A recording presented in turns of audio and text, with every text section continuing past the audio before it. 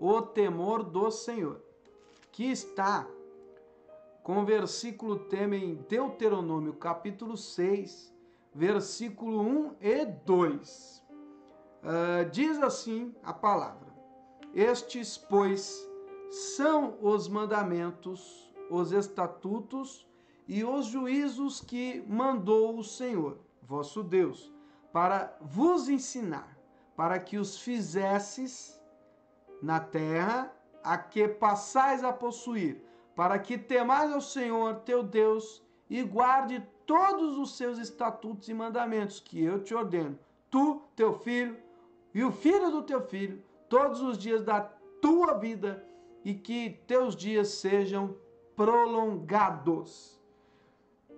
Diz assim o estudo: um mandamento frequente ao povo de Deus do Antigo Testamento é temer a Deus ou temer o Senhor. É importante que saibamos o que esse mandamento significa para nós como crentes. O que significa temer a Deus, temer ao Senhor? Somente à medida que verdadeiramente temermos ao Senhor, é que seremos libertos da escravidão de todas as formas de temores anormais e satânicas. Então eu vou repetir aqui, porque tem muita gente que pede oração. Ô irmão, ora para Deus abrir meus caminhos, minha vida está amarrada, fizeram uma macumba para mim, fizeram uma malignidade na minha vida. Então por que, que a gente estuda a palavra? Porque ela é, é o que ensina, é, é o manual de conduta, de regra, certo? É o manual de sucesso. A Bíblia é o manual de sucesso. Uma receita de qualquer receita que você pega aí, para dar certo, você tem que seguir item por item. Senão ou fica solado, ou, ou incha demais o bolo, ou fica salgado, ou fica sem sal. Tá entendendo? Fica azedo demais, fica amargo demais, fica sem doce, sem. sem... Os irmãos entendem? Então, ó, tá escrito aqui, ó. Somente à medida que verdadeiramente temermos ao Senhor, somente quando a gente temer de verdade a Deus, e temer a Deus não é ter medo. Medo, pega aí quem teve uma criança em casa, você vai dar aquela surra. Que os pais de hoje não fazem mais isso, né? Mas um, bichinho de estimação, nem os bichinhos tá apanhando mais. Mas antes o cachorro urinava fora do lugar, ou, ou, ou, a criança vinha lá e pá, o pai assim, uma chinelada, criança ficava com medo. Daqui a pouco, a criança estava fazendo a mesma coisa.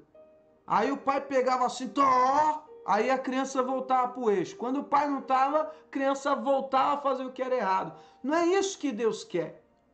Não é isso. Quer dizer, a pessoa só vai fazer o que Deus solicita mediante repreensão, isso não é temor, isso é medo. O medo, a pessoa obedece ali, quando está na frente, cara a cara, momentaneamente. Mas depois ela pode muito bem desobedecer, não está nem aí. Obedece não porque entendeu, obedece porque não quer levar o rei no couro. Temor a Deus é diferente. Você obedece porque você compreendeu. Entendeu? Não, eu não vou adulterar porque eu temo a Deus, Deus falou que não é fazer e eu amo a minha esposa. Não vou fazer. Mas quando a pessoa não teme a Deus, não compreende a palavra de Deus, ainda que ele diga que ama a pessoa, ele acaba contrariando, fazendo errado. Então, à medida que temermos ao Senhor, é que seremos libertos da escravidão e de todas as formas de temores anormais.